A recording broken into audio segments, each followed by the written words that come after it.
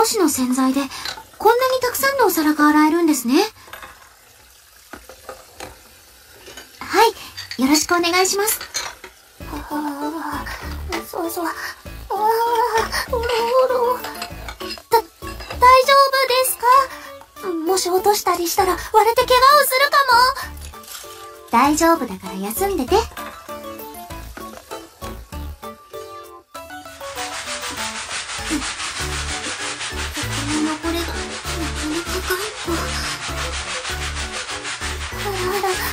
転んでしまいますよ、吉野様。そこは私が後日きれいにしておきますから。いいから休んでて。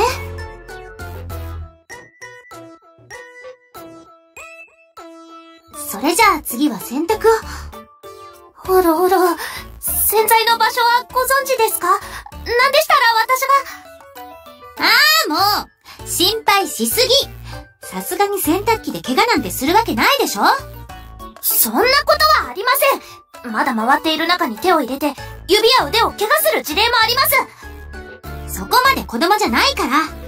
だいたい、こっちのことは気にせず、ゆっくりしてって言ってるでしょ。そう言われても、落ち着けるはずありませんよ。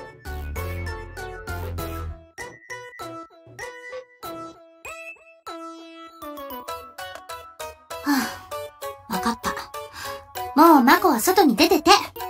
夕食の準備が整ったら連絡を入れるから。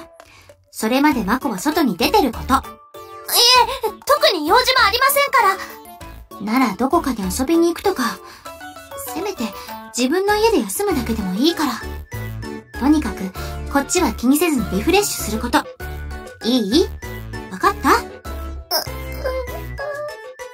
わかった？ました。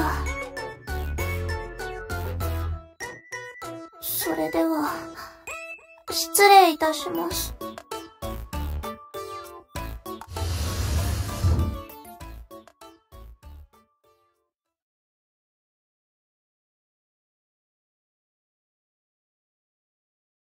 自分の部屋でゆっくりしてれば、自然と心も体も慣れるはずです。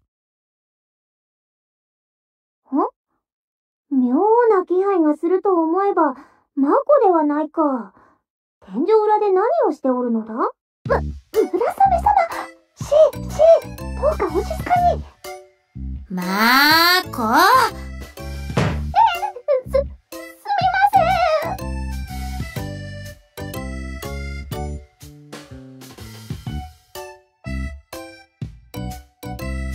せん。なんじゃ？一体どうしたのだ？